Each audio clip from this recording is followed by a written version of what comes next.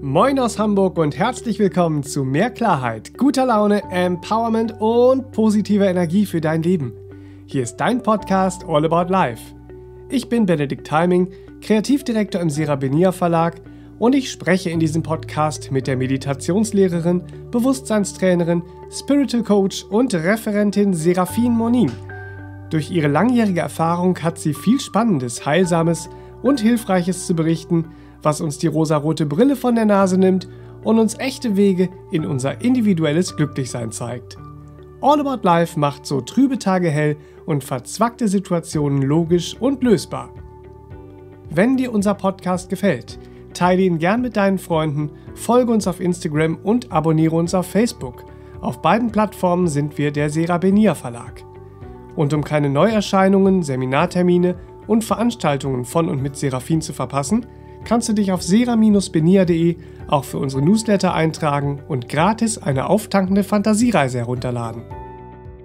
Trägst du auch den Wunsch in dir, dich wieder ganz zu fühlen? Dich nicht länger vom Gedankenkarussellen im Kreis führen und von zerrissenen Gefühlen lähmen zu lassen? Dann kann dir diese Podcast-Folge sicherlich eine große Hilfe sein. Denn wir schauen uns mal an, was uns in unserem Leben eigentlich in dieses Dilemma geführt hat und vor allem, wie wir lernen können, uns endlich wieder ganz und heil zu erfahren und zu erleben. Wie versprochen, mit mir im Studio Seraphin. Hallöchen. Ja, hallo Benedikt und hallo ihr Lieben daheim und wo auch immer ihr uns jetzt in diesem Augenblick zuhört. hallo, liebe Podcast-Freunde.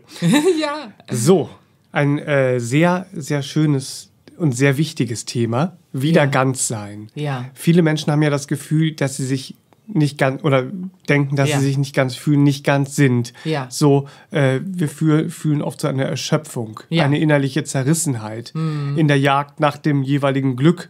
So, und wir fühlen uns nicht verbunden im Miteinander. Ja. Ähm, woher kommt das? Warum sind wir nicht ganz? Mhm. Warum sind wir nicht so ganz? Ne? Ja. Mhm. also, es ist ein Podcast, ne? Wir reißen die Themen so an. Ich gebe mein Bestes. Es gehört natürlich sehr, sehr viel äh, äh, Spannendes in dieses Thema hinein. Schauen wir mal, was ist denn vielleicht erst einmal ganz wichtig als Hauptgrund für diese Unvollständigkeit, die wir da eben auch in uns verspüren und gar nicht genau benennen können. Wir leben in einem Weltbild, das uns in unseren Gedanken, Gefühlen und äh, in unserem Verhalten und so weiter geprägt hat. In mhm. unserer gesamten Lebensgestaltung, nicht wahr? Äh, haben wir ein Weltbild, das schlussendlich bei genauerer Betrachtung die Anbindung ans Seelenwesen einfach ausgelöscht hat. Mhm. Weil die Idee vom inneren Wesen innerhalb des weltlichen Bildes sehr wegrationalisiert ist. Da mhm. sagt man so, ja, ja, scheint was drin zu sein im Menschen. Mhm. So, irgendwo ist eine Seele. Ja. So, ne? Oder bei denen, die man gut findet, sagt man, ah ja, die haben noch eine Seele, die anderen nicht, die sind Schuft. Mhm. Oder was auch immer. Es trägt dann ganz, ganz, ganz seltsame Blüten einfach, die Idee der Seele weil es wegrationalisiert ist. Wir wachsen nicht äh, äh, in der Regel mhm. in einem Kindergarten auf, in dem schon geschaut wird, welche kleinen Seelen hüpfen da jetzt so rum, mhm. mit welchen Talenten und Fähigkeiten und was sollte gefördert werden, was entspricht dem kleinen Wesen, was entspricht nicht. Mhm. So, sondern es gibt so Vorgaben, in die quetscht man sich rein. Ne? Dann geht's weiter in der Erziehung und in dem, was wir dann lernen, wie Leben geht und Lebensgestaltung geht. Und da ist kein Raum fürs innere Seelenwesen. Mhm. In den alten Kulturen war es anders. Da hat man geschaut, da kommt ein Seelenwesen an. Welche Fähigkeiten bringt es mit? Mhm. Nicht wahr? So, das ist in Vergessenheit geraten, aber wir können uns ja erinnern. Mhm. Und in uns drin ist ja dieser Ruf. Deswegen fühlen wir uns dann ja auch so zerrissen. Wir spüren ja in uns, uns fehlt irgendwas in diesem Anbindungsthema. Mhm. Wir wollen ankommen, wir wollen uns verbunden fühlen, wir suchen eine Zugehörigkeit im Miteinander. Wir suchen da ja was. Wir suchen eine Nähe, aber allein körperliche Nähe bringt es dann auch nicht. Mhm. Wir suchen so eine insgesamte Nähe und also etwas. Was ist das? Ja, das ist diese Verbindung ja. zum inneren Wesen, und das aber auch wieder als Navigationsgrundlage einzusetzen, weil wenn wir in einem Weltbild leben, das die Idee vom inneren Wesen und damit auch die Anbindung mhm. ausgelöscht hat, ja, dann spielt das ja auch keine Bedeutung mehr für mhm. unsere gesamte innere Navigation. Ja. Also die Navigation zur Lebensgestaltung sollte ja vom Innen ins Außen fließen. Mhm. Ja, das Ideale im Herzen, das innere Wesen gibt Impulse für ein sinnhaftes Dasein im, im Erdenleben, im, im Miteinander auch. Das wäre der Maßstab im eigentlichen Sinne, wie es das Leben hervorbringt, nicht wahr? Aber wenn die Seele keine Bedeutung mehr hat, ich meine, sag mal heute, oh, ich muss den Beruf wechseln, weil das passt nicht zu meiner Seele, das passt nicht zu meinem Wesen. Mhm. Ja, viel Spaß bei den Reaktionen, mhm. nicht wahr? Aber wir trauen uns ja auch schon gar nicht mehr, das in den Sprachgebrauch zu integrieren, ja, so, weil da wirst du ja gleich irgendwie, äh, was, was, was, stimmt mit dir nicht? Mhm. Du läufst nicht im Weltgeschehen wie das Weltgeschehen, aber sag, dass du zu laufen hast. Bei dir läuft was nicht rund, du bist wohl nicht ganz. Ne? Ja, das ist man in dem Moment auch nicht. Ne? Ja, das ist das Verrückte. Es, es wird dann so bedeutungslos geredet und alles, was uns manchmal in der Hilflosigkeit bleibt, ist, wir sagen, äh, mein Gefühl sagt mir. Ich fühle das aber. Mhm. So. Und nur haben wir ein Dilemma, weil Gefühl kann aus allen möglichen Ecken kommen, mhm. muss nicht unbedingt aus dem Wesen kommen, nicht wahr? Gefühl kann ganz unterschiedlich zustande kommen in uns. Deswegen ist das als Navigation dann auch wieder eher eine verschleierte Wahrnehmung, ja, ja nicht das Wesen, das, das innere Wesen. Das heißt, uns fehlt diese Orientierung, ja, so, weil wir sind auf ein materiell orientiertes Weltbild ausgerichtet und damit beziehen wir uns natürlich dann auf den Körper, weil den können wir sehen, ja, mhm. so. Und es gibt ja auch die Körpersinnlichkeit, das heißt, da gibt es viel Empfinden und Spüren und Fühlen auch, nicht ja. wahr, so. Und dann sagen wir gut, dann äh, äh, ist es das, wo wir uns anbinden für ein Wohlgefühl oder für ein Ganzsein, aber das geht nicht, weil rein körperlich wäre sehr einseitig gedacht. Und auf Körpersinnlichkeit begrenzte Lebensgestaltung führt uns dann ja auch in seltsame Blüten, seltsames Konsumverhalten, seltsames Miteinander, aber schlussendlich wieder dieses, ich fühle mich nicht ganz, mhm. ich bin nicht ganz bei mir, ja, ich fühle mich nicht vollständig. Daraus resultiert dann auch in dem Wortspiel, ne, das mhm. zweite, mhm. äh, präsent sein. Ich bin nicht äh, äh, ganz da, ja, mhm. wieder ganz sein, im Moment sein, im Augenblick sein. Das geht ja einher. Wenn ich die Vollständigkeit in mir nicht mehr spüre, mein Wesen nicht mehr spüre, äh, dann fehlt mir was in der Vollständigkeit zum Ganzsein. Aber es fehlt mir auch die Möglichkeit, wirklich ganz mhm. anwesend zu sein, weil ich bin ja nicht mit mir verbunden. Wie soll ich denn präsent sein? Mhm, ja. Nicht wahr? Ja, ja, ja, das sehen wir dann. Mhm. Wenn man sich, wenn man sich äh, mit diesen Themen beschäftigt, dann stößt man äh, schnell auf diesen Ausdruck von Körper, Geist und Seele. Da wird von Körper, Geist und Seele gesprochen. Ja. Äh, wer dich aber jetzt schon ein bisschen kennt und mit deiner Arbeit äh, vertraut ist, ja, von den Seminaren etc., ähm, mhm. weißt, du arbeitest ganzheitlich mhm. und beziehst dich dabei aber auf vier Ebenen. Mhm. mhm. Ja, wie kommt es denn dazu? Ja. Ne? Könnte man jetzt mal so sehen. Da hast du recht. Also Körper, Geist, Seele, das ist halt umgangssprachlich verbreitet und dann arbeiten wir so damit und, und sagen das auch so. Äh, bei genauerer Betrachtung, wenn wir in die Arbeit gehen, reicht es nicht ganz. Ne? Manchmal spricht man auch von Körper und Seele und reduziert es dann auf die beiden Ebenen. Es ist alles nicht gänzlich falsch, aber wenn wir so richtig dran arbeiten und wenn wir unser Bewusstsein wieder wandeln wollen hin zum wesentlichen Leben und zur bewussten Lebensgestaltung, dann stellen wir halt äh, gewisse Dinge fest, äh, äh, äh wo sich Verstrickungen in diesen Bezeichnungen auch finden.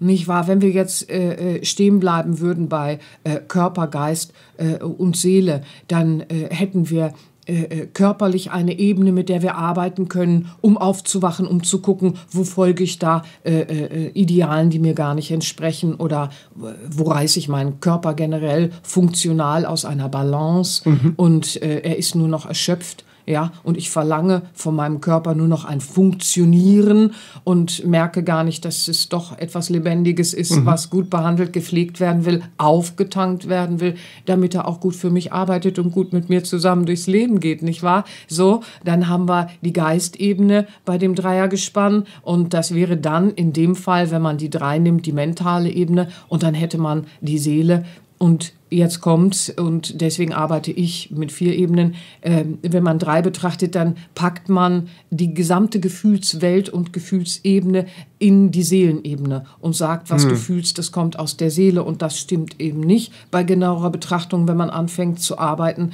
Und äh, äh deswegen arbeite ich mit vier Ebenen, mit vier Säulen, wenn man so will. Ja, ähm, Wer mich kennt, der weiß, äh, äh, dass ich seit Jahrzehnten die alten Lehren studiere und, und äh, mit den alten Lehren unterschiedlichster Kulturen auch immer wieder in meine Arbeit verwoben arbeite, ob ich jetzt das autogene Training, die progressive Muskelentspannung mache, Achtsamkeitsübungen oder was auch immer.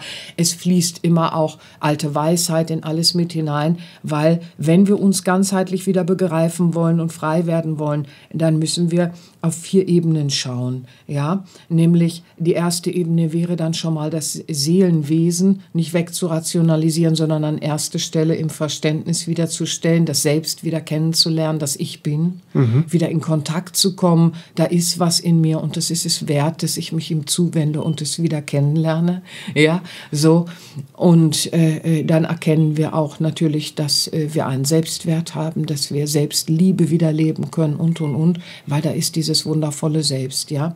Ähm, und dann entdecken wir Gedanken, Gefühlswelt. Da könnte man äh, schon wieder zwei Ebenen bitte benennen, ja. Warum arbeite ich mit vier? Da ist der Gedankenkörper, da ist der Gefühlskörper und da ist der physische Körper und die alten Lehren beschreiben das sehr schön. Ähm, wenn man sich das schwer vorstellen kann, kann man ja sagen Ebenen oder äh, äh, so. Ne? Das sind Gedanken. Ich habe eine Gedankenwelt in mir, eine Gefühlswelt. Dann wird es klarer, weil das ist Umgangssprache mhm, ja. für, für jeden vielleicht greifbarer.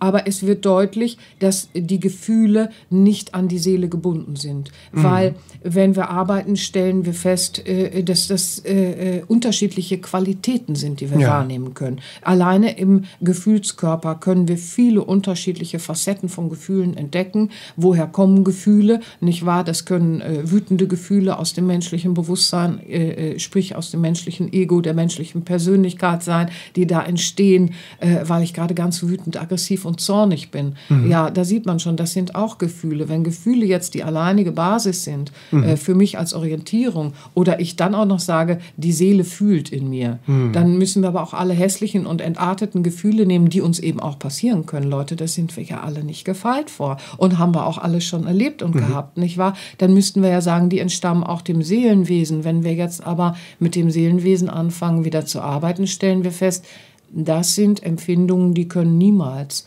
aus dem Seelenwesen kommen, nicht mhm. wahr? Aber ähm, ja, deswegen arbeite ich mit vier Ebenen, damit es diesen Irrtum der Verstrickung dort nicht gibt, ja. weil es gibt so, sonst auch eine regelrechte Verstrickung, weil das Seelenwesen ist so ein bisschen wie der Insasse im Auto und das Auto, sprich das Menschliche, der Körper, das äh, besteht dann äh, äh aus dem Gedankenkörper, ja, dem Gefühlskörper und dem physischen Körper und die sind verwoben. Selbst in der Medizin sehen wir das, äh, äh das ist immer mehr ins Bewusstsein tritt eben auch, dass da ein Zusammenhang ist, dass wir über Gedanken und Gefühle, die wir lange denken, äh, äh, äh, äh Gesundheitsprozesse unterstützen oder eben lähmen und verschlechtern, mhm. ja, und blockieren. Also dieser Zusammenhang, der ist sehr signifikant, wenn man weiß, wie man es beobachten ja. muss und kann. Und die Frage ist eben auch immer, wer in uns ist denn eigentlich der Beobachter? Ja, wenn ich mich jetzt gleichsetze mit meinen Gedanken, wer beobachtet sie denn? Hm. Ich kann ja meine Gedanken, wenn ich das trainiere und Achtsamkeitstraining mache und Übungen mache, Konzentration verbessere und äh, lerne mit inneren Bildern umzugehen und so weiter, dann stelle ich plötzlich fest, ich kann meine Gedanken regelrecht beobachten und verändern verändere dadurch was in meinem Gefühl. Was ist denn da los? Mhm. Wer in mir beobachtet das? Wer ja. nimmt denn diese Gefühle in mir wahr? Mhm. Ja, so. Und all dieses, das ist dann ganz spannend, wenn man ins Bewusstseinstraining geht, um ganzheitlicher zu mhm. leben. Mhm. Dann stellt man mit vier Ebenen leichter äh, äh, fest, wie man seine Fortschritte mhm. aus der Disharmonie wieder in die Harmonie, in den Einklang bringen kann. Deswegen arbeite ich mit vier Ebenen. Mhm. Umgangssprachlich verwendet man natürlich Körper, Geist, Seele oder Körper, Seele. Das mag alles äh, sein und ist ja auch nicht äh, äh, falsch, wenn man es wenn man wenn man dann wenn man differenzierter betrachtet die Richtigkeit in der, Arbeit, in der ja. Differenzierung mhm. betrachtet. Genau, dann ist es fein. Aber es geht ja schlussendlich geht es darum, wir wollen wieder ganz sein, mhm. nicht wahr? Und da müssen wir eben schauen, wie kommen wir zurück in diese Vollständigkeit und in diese Präsenz auch. Mhm. Ja, wir wollen auch wieder präsent sein mhm. im Leben, ja. Ja, das zeigt ja auch, dass dieses differenzierte Betrachten wichtig ist, weil ähm, im allgemeinen Sprachgebrauch, wenn davon ja, dann ja. die Rede ist, äh, dass die Seele krank ist, Ähm, das ist so, eben, das, das genau. gibt es ja häufig Ja, irgendwie, ja. wenn die Seele Trauer trägt, Narben auf der Genau, Seele, genau. dann betrifft es aber doch immer eher eine Verletzung im Gef- Gefühlskörper. Richtig, ja, Und ja, die äh, Seele hat nichts Ja, Also ja, ist ganz genau. Ja, davon. das traut, traut man sich dann ne, kaum zu sagen, so. Aber wir sehen es in den alten Lehren und wir im Training wissen es ja auch. Und äh, für manchen Hörer ist es vielleicht auch gar nicht so neu und da hat es schon mal gehört. Aber es zu hören und es zu erleben in der Selbsterfahrung, im Leben, in der Lebensgestaltung mit einzubeziehen, ist natürlich auch unter Umständen ein äh, äh, weiter Graben dazwischen. Ne, so. Und das wollen wir aber zusammenbringen. Und deswegen ist es schön, dass du es sagst, weil es gibt so wahnsinnig viel, wo es dann heißt, die Seele ist krank. Die Seele ist verletzt. So, wenn ich jetzt sage, ich bin die Seele, dann bin ich ja krank, dann bin ich verletzt. Dann konnte man mir etwas tun.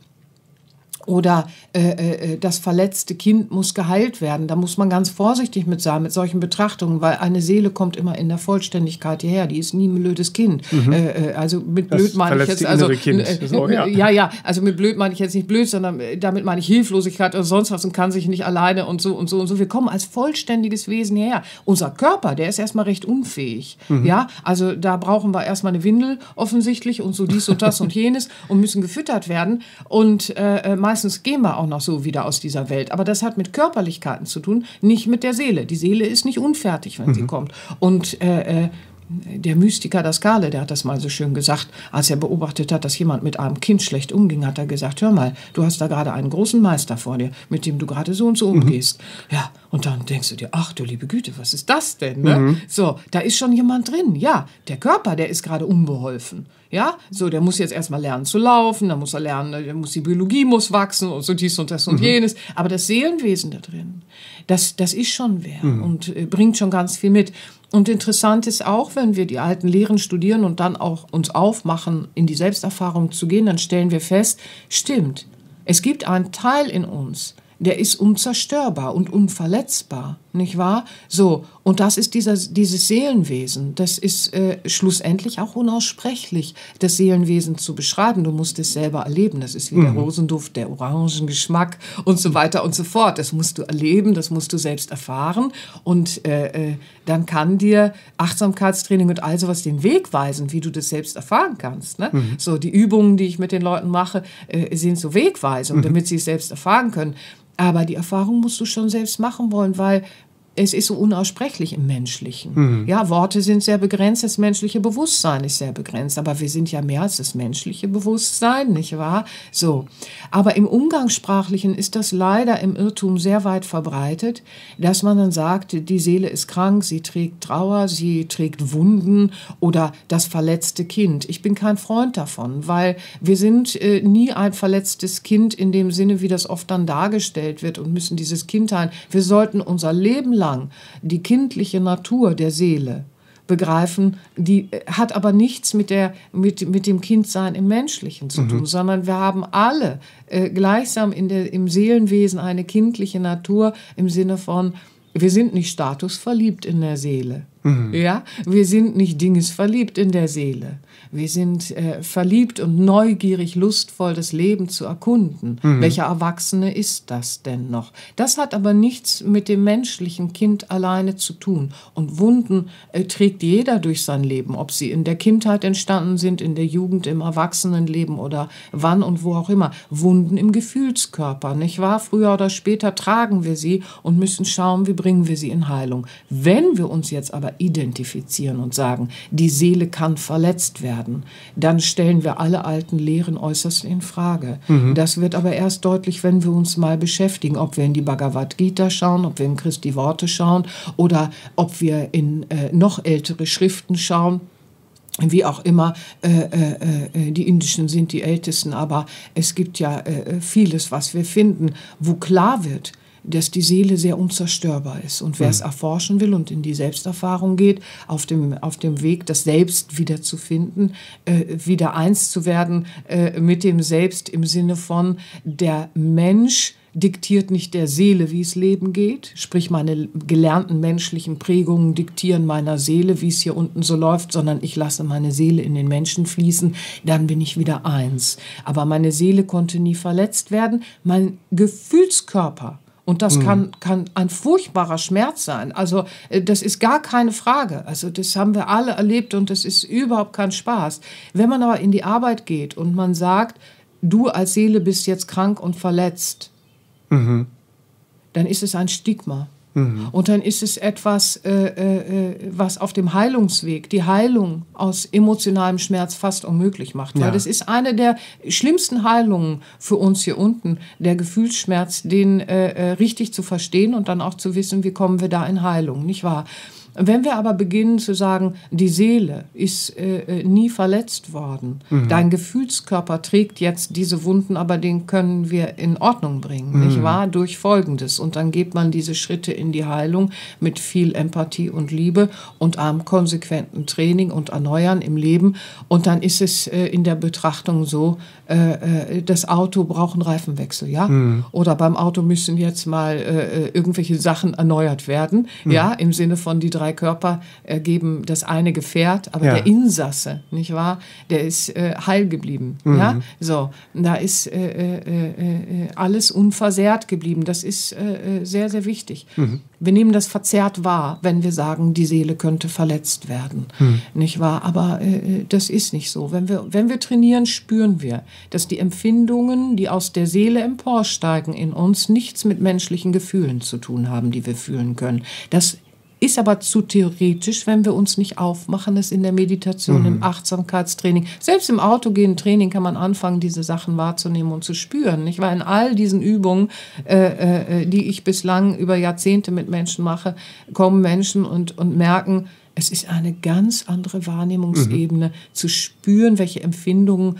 aus meiner Seele emporsteigen, mhm. in meinem Bewusstsein, äh, äh in die Wahrnehmung kommen und menschliche Gefühlsebenen. Denn im menschlichen Gefühlen gibt es ja ganz viel, nicht wahr? Ja. Es kann ja aus Gelernten, aus den Prägungen kommen, aus dem Ego kommen, es kann aus äh, äh, äh allen möglichen hm. Bereichen mhm. kommen, nicht wahr? Also bis es dann das Herz äh, äh, äh, und das Seelenempfinden ist, sind da erstmal ganz viele Sachen, die wir vielleicht begreifen müssen für äh, äh, diesen Unterschied, ja. ja, den wir mit einbeziehen müssen. Und was wir begreifen müssen, ist eben auch, die Seele ist unzerstörbar und unverletzbar, aber wir können sie natürlich ihrer Entfaltung berauben mhm. und das menschliche Bewusstsein nach vorne stellen ne, und sagen, äh, äh, ich renne eher mit dem Menschen, dann bin ich mhm. aber nicht im Einklang mit meinem Wesen. Ja. ja. Dann bin ich vielleicht im Einklang mit dem Äußeren und versuche da irgendwas, aber das wird nie inneren Frieden erzeugen. Ja? Wir können die Seele, äh, wir können uns abhalten, uns mhm. selbst als Seelenwesen von der Entfaltung, die Lebensabsicht mhm. können wir unterdrücken, ja, die wir mit in dieses Leben gebracht haben. Ja, das, ist ja, das ist ja verrückt, weil das ja wiederum äh, zu Gefühlsschmerzen ja, führt. deswegen glaubt man ja auch, die Seele schmerzt. Ja, mhm. ja, genau. Das führt dann sofort wieder in Gefühlsschmerzen und das Innere ruft nach dieser Entfaltung, nicht wahr? Und äh, dann müssen wir lernen, die innere Zerrissenheit auch zu lesen, denn mhm. sie ist ja eine Sprache. Innerer Zwiespalt ist eine Sprache. Alles, was uns innen drängt, ist eine Sprache. Wenn ich Unruhe habe, woher kommt sie? Wenn, wenn, wenn ich das Gefühl habe, es muss eine Befriedung im Inneren her, es äh, äh, sind Dinge in mir. Es ist ja eine Sprache, nichts kommt von nichts in mir. Es entsteht und es hat immer eine Logik. Mhm. Ja, das äh, sieht man, wenn man mit diesen vier Ebenen arbeitet. In äh, meiner Arbeit ist es immer wieder so schön. Am Anfang äh, äh, denkt man so, oh, das ist ein Knoll, das werden wir nicht entwirren und die Seele ist krank oder so. Und dann fängst du halt an, Schrittchen für Schrittchen Klarheit hineinzubringen und dann hat alles immer eine Logik, Logik und ja. dir konnte niemand etwas tun. Du bist unversehrt und äh, äh, so. Ja, das ist ganz, ganz wichtig äh, für den Heilungsprozess, denn äh, das ist, wie es ist. So mhm. ist es ja. Äh, und, und das dann zu erfahren, das ist so heilsam, dieses mir konnte man nie etwas tun. Mhm. Das Menschliche ist sehr kaputtbar, das steht außer Frage. Das sehen wir schon bei der Physis, nicht wahr? Das sehen wir schon beim physischen, stofflichen Körper ja ganz sehr. Wenn wir da auch nur ein paar Grad Abweichung haben in der Temperatur, wird es brenzlig, mhm. nicht wahr? So, das ist ein, ein sehr fein justierter Organismus. Ja. Und deswegen müssen wir ja auch lernen, sehr fein auch wieder mit ihm umzugehen, mhm. eigentlich mit allem Leben, nicht wahr? Ja, ja. So, aber wir sind ja jetzt bei äh, äh dem Körper und der Seele und den drei drei Körpern und wie können wir wieder in diese Verbindung kommen, mhm. damit wir wieder in diese Verbindung kommen, weil der Gefühlsschmerz äh, äh, ist nicht die Seele, hilft schon mal auf dem Weg. Wir müssen uns unserem Selbst zuwenden, diese Verbindung spüren, dann sind wir wieder mit dem Leben. Ja. Weil wir sind Leben da drin. Mhm. Nicht wahr? Wenn, wenn wir als Leben weiterziehen, dann kann der Körper machen, was er will, der kann nicht aufrechterhalten, wenn die Seele weiterzieht. So, wir sind, wir sind Leben. Und äh, wir, sind, wir sind dieses Lebendige. Und damit wollen wir uns wieder verbinden, um uns wieder ganz zu fühlen. Und dann wollen wir Gedanken, Gefühle und den physischen Körper auch wieder als eine Einheit ja, in diese Wesensentsprechung bringen im gelebten Leben. Ja. Ne? So in der Lebensgestaltung. Ja. Ja, also dieser Gefühlskörper, diese Identifikation damit, das kennt ja auch jeder. Was natürlich auch jeder kennt, Ja. ist ähm, dann, wenn wir jetzt in den äh, mentalen Bereich gehen, Ja. das Gedankenkarussell. So, wenn uns Sorgen und Ängste und Zweifel an uns selbst oder so Ja. Grübeleien einfangen und Ja. festhalten wollen, äh, da, da fehlt ja auch was zum Ganzsein oder stimmt ja was nicht in dem Mhm. Gedankenkörper, wie du ihn genannt hast. Ja? Ja, genau. Ja, also äh, äh, Gedankenkörper ist, ist ja keine Bezeichnung. Ich, ich erfinde diese Sachen ja nicht, ihr Lieben. Ne? Ne, Das ist auch ganz wichtig. Das ist, liegt mir auch sehr am Herzen. Sondern ich vermittel einfach ein altes Wissen so, dass man es selbst erfahren kann. Weil der Schlüssel liegt immer darin, wir müssen es aufbereiten, damit wir es selbst erfahren können. Jede Zeitqualität hat ihre Termini und so weiter und so fort. Ja, und, und deswegen, das Schöne ist ja, äh, äh, dass es dann auch wirklich funktioniert. Das ist das, ist das Tolle. Ja. Ja. So, also äh, äh, das Gedankenkarussell. Ja, also ja, wo fange ich an, wo höre ich auf? Also erst einmal ist es so. Das fragt man sich auch im Gedanken. Da fragt man sich, genau, das ist, oh Gott, wo fange ich an, wo höre ich auf? Kommen wir gleich in diese Energie, ne? Ach, du liebe Güte. Also, zum einen ist es so, wenn wir eine falsche Überverantwortung äh, in uns spüren ähm, gegenüber äh, äh, Liebsten in unserem Umfeld, und da können wir ja auch ein Lied von singen. Wer intensiv liebt, der sorgt sich auch viel, der, der spürt Ängste, der spürt Zweifel, der spürt äh, äh, sehr viel im Umsorgen der Liebsten und will, dass es dem Umfeld und allen gut geht und reibt sich da natürlich auch sehr häufig auf und ist dann im Gedankenkarussell sehr gefangen. Also da können wir ja alle, die wir viel lieben, ein, ein äh, äh, Lied singen. Nun müssen wir aber lernen, und das ist gar nicht so einfach für große, gute Herzen, dass wir eine Überverantwortung auch lernen müssen, in eine gesunde Verantwortung zu bringen, nicht wahr? Das ist ein Teil, den wir sehr häufig im Karus Karussell, im Gedankenkarussell von Ängsten und Nöten und Sorgen, so wie du es ansprichst, ja finden. Und äh, was wir aber auch sehr häufig beobachten bei der Thematik Gedankenkörper äh, äh, ist, ist im Terror regelrecht gefangen. Ja, Gefühl, Gedankenkarussell ist ja, ist ja so eine Vorstufe und irgendwann bist du in so einem mentalen Terror, ja. Da bist du also, da kannst du gar nicht mehr loslassen. Da hängst du in einer Sache, die äh, in der Vergangenheit liegt fest und quetscht die 20.000 Mal am Tag durch deine Hirnwindungen durch und äh, äh, machst auch wieder Selbstverletzung, ne? So, weil und jetzt kommt's, du irgendwelchen Prägungen im Gedankenkörper halt erlaubst, die Zügel zu übernehmen, ja. Da sind dann zum Beispiel vorgefasste Meinungen, ja. Und wenn dann das, was du erlebst, nicht zu diesen vorgefassten Meinungen passt, ja, dann läufst du hinterher in Gedanken wieder im Karussell rum und terrorisierst dich in Gedanken. Weil da hat jemand so und so über dich geredet oder da war dieses so und so oder da ist jemand und das müsste doch so und so sein oder im Umgang warst du doch schließlich so und so und dann gibt es so hunderttausend Sachen,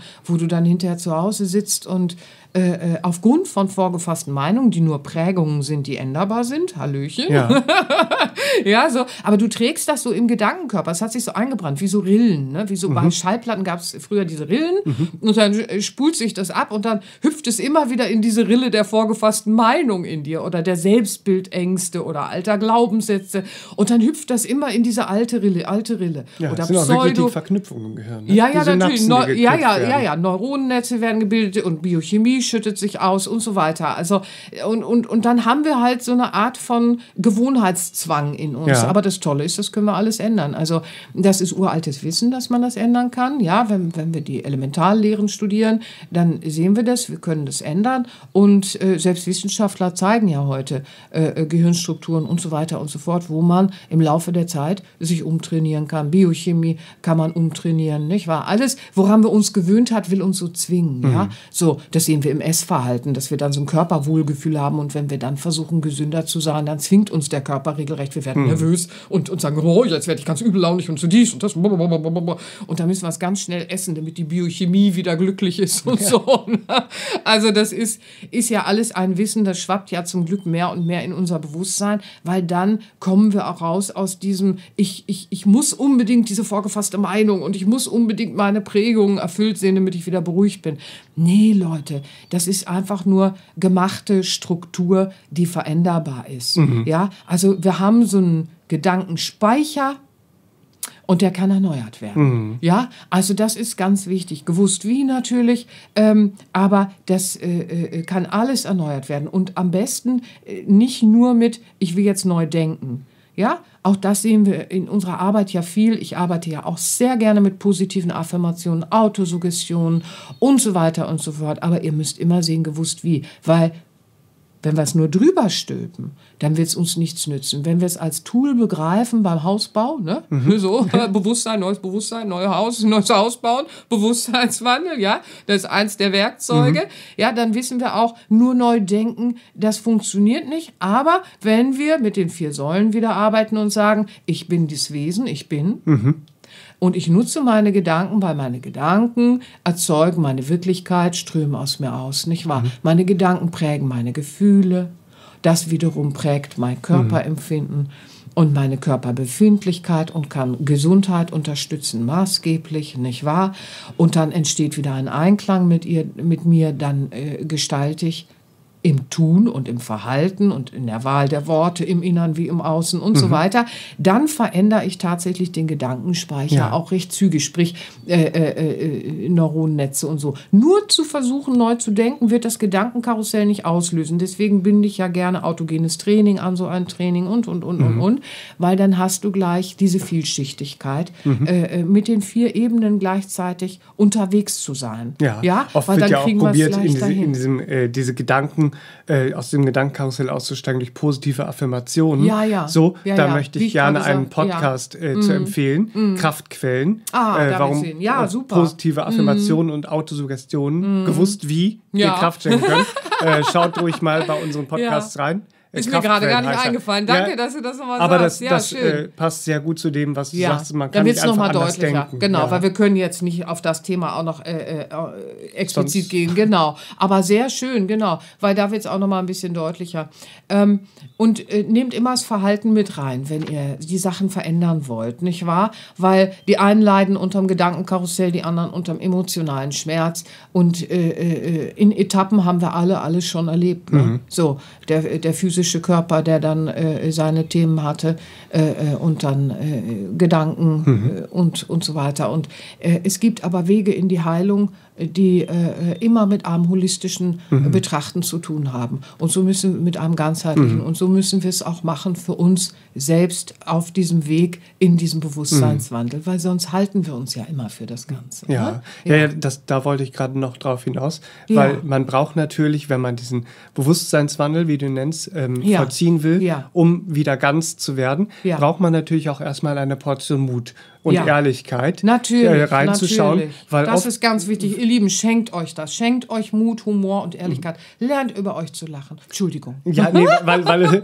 weil es ja so ist, dass man. Ähm, ist ja auch eine Identifikation, die da stattgefunden hat, mhm. mit einer gewohnten Gefühlsstruktur und Gedankenwelt, ja. was ich lange gedacht, gefühlt ja. habe, ja. so, was ich errichtet habe ähm, führt mich zu der falschen Annahme, dass ich so oder so bin. Ja. So bin ich halt, so denke ich halt, so fühle ich halt. Wenn du, wenn du zum Beispiel lange in einem Umfeld warst, das äh, äh sehr böse gedacht hat, im Sinne von sehr abfällig, übergriffig, äh, kannst nichts, bist nichts, wie siehst du aus und dies und das, nichts gelingt dir und sonst wie, mhm. dann verselbstständigt sich das ja in den sogenannten Glaubenssätzen in dir und und und. Und dann brauchst du einfach viel Mut, wenn du es verändern mhm. willst, nicht wahr? Wenn du dir selber angewöhnt hast, ein blöder Schlumpf im Verhalten zu sein. Auch das passiert, ihr Lieben. Ich muss es einfach mal ansprechen. Und dann hat man doch mitgelästert oder hat doch irgendwie große Töne gespuckt, weil man sich selber gerade klein glaubte mhm. oder sonst irgendwas. Leute, kommt, ne? das ist uns allen passiert und das passiert so.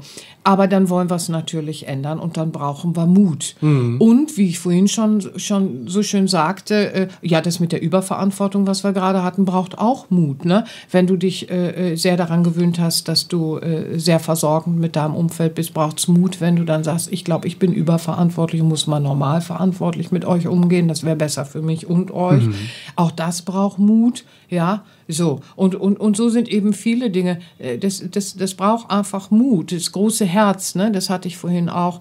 Ähm, das große, große Herz wir brauchen Mut. Mhm. Ja, wenn wir dann irgendwie freundliche Sachen zu, selbst das ist ja, es ist ja verrückt, selbst wenn wir uns was Freundliches sagen im Miteinander, mhm. so wenn wir unterwegs sind und so, selbst dafür brauchen wir heute Mut. Also was ist mit uns denn los? Ach, das können wir doch besser. Ja, können wir. wir erleben es ja auch. Das können wir. Aber die Identifikation. Wenn wir uns mit dem Schmerz identifizieren, haben wir keine Chance mehr, uns zu entwickeln. Dann sagen wir, ich, Seele, ich, krank. Mhm. Wenn wir sagen, in der Kindheit war was, dann sagen wir, ich, verletztes Kind für immer und ewig. Mhm. Ja, so. Und dann gibt es so ein paar Heilungsansätze und so dies und das. Ich will nicht schlecht reden. Alles äh, äh, wird was sein, wo man was finden kann. Aber wir müssen es äh, weise einbeziehen. Mhm. Ja, das ist ganz wichtig. Wir müssen schauen, dass wir nicht irgendwo stehen bleiben, wo wir in der Identifikation dann stehen bleiben, weil dann ist Gefahr von Egoismus durchaus mal gegeben. So, ne? Ja. Ich muss jetzt für meine Wunde sorgen. Und auch das sehen wir im gelebten Leben. Keiner hat für mich gesorgt, jetzt sorge ich für mich. Das kann uns passieren, gar keine Frage. Aber es ist nicht die mhm. Ganzheit. Es ist nicht das Ganzsein, in das wir kommen. Es ist nicht die Vollständigkeit. Dann fallen wir von einer Einseitigkeit in eine andere Einseitigkeit. Das ist wie ein Pendel, ne? Das ist dann das Pendel, genau. Und das ist dann sehr traurig, weil dann haben wir uns immer noch nicht gefunden und sind nicht mhm. angekommen und auch nicht angebunden. Dann verlieren wir uns, aus dem Verlieren gehen wir los, wollen uns finden und verlieren uns wieder. Und auch das kann man finden. Und deswegen, wir müssen mit gewissen Begriffen schauen und wir müssen immer sehr schauen, in die Selbsterfahrung zu gehen auf dem Weg. Wir sind in der Identifikation sonst ganz schnell, ich bin meine Gedanken, ich bin meine Gefühle und so all dieses, nicht mhm. wahr? So, und dann äh, vergessen wir, wer wir wirklich sind. Hm. Und das wäre schade, weil ja. jeder ist ein schönes Wesen. Kommt raus aus eurem Schneckenhaus! Ja. Mal anders identifizieren. Ne? Ja. Ne? Nämlich mit diesem, wir sind Geist-Seele-Wesen. Ja. So ein Ich Bin, ein inneres Wesen. Das ist und es doch. Äh, wir haben wundervolle Möglichkeiten durch diese drei Körperebenen, von denen wir gesprochen haben, genau. um unser menschliches Leben wieder in Einklang zu das erfahren zu können. Es, dann sind wir wieder ganz. Wenn wir dann praktisch lernen, bewusst im Umgang mit uns unserem physischen und mentalen und emotionalen Erleben Richtig. zu leben. Das ist ein schönes Schlusswort. Das ist toll. Ja, das ist sehr schön. Genau das ist es doch. Ja, also, wenn wir das wieder lernen zu integrieren, das, äh, das, das Wegrationalisierte wieder integrieren, so wie du es gerade so schön sagst, und die drei Körperebenen begreifen, äh, um unser menschliches Leben wieder im Einklang mit dem Wesen zu gestalten. Mhm. Ach, ihr Lieben, also dann wird es ja nur schön, weil dann lieben wir unsere Natur wieder. Und wer seine eigene Natur wieder liebt, der liebt das Leben. Der liebt die Natur auch wieder. Und was wir lieben, behandeln wir gut. Mhm. Ups, kleiner Hint zum Schluss, dann wird alles ein bisschen schöner. Ja, zumindest da, wo wir sind, können wir viel, viel, viel Schönheit ins Leben bringen. Mhm. Ja, das wünsche ich euch. Sehr schön. Ja? Und ähm, Sehr schön. wenn ihr jetzt auf dem Weg ins Ganzsein seid und ein bisschen Hilfe dabei benötigt. Du hast äh, erst Wir benötigen immer Hilfe. Ja. Ich bin jeden Tag froh um alle Hilfe. Sag es mir, wo kriege ich Hilfe?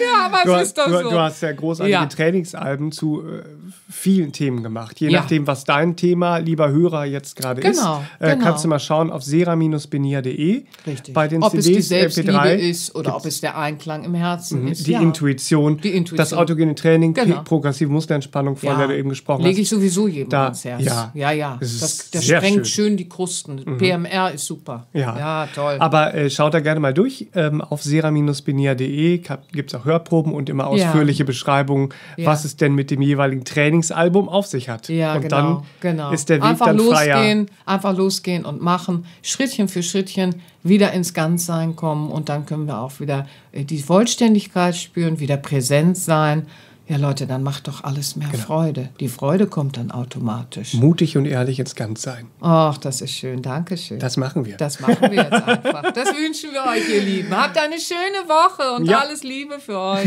Bis dann. Tschüss. Bis tschüss. dann. Tschüss. Das war der All About Life Podcast für heute. Schaltet auch nächstes Mal gerne wieder ein und wenn ihr mögt, wenn es euch gefallen hat, empfehlt uns euren Freunden und besucht uns auf www.sera-benia.de. Und ihr könnt uns auch gerne auf Facebook abonnieren. Da sind wir der Sera Benia Verlag. Dankeschön. Tschüss.